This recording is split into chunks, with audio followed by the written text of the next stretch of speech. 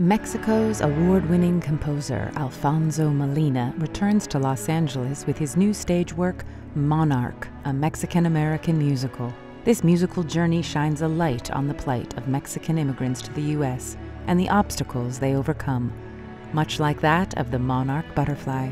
Direct from Mexico, five performances only, performed in English, December 9th to December 11th at the Los Angeles Theater Center. For more information and tickets, visit monarchthemusical.com.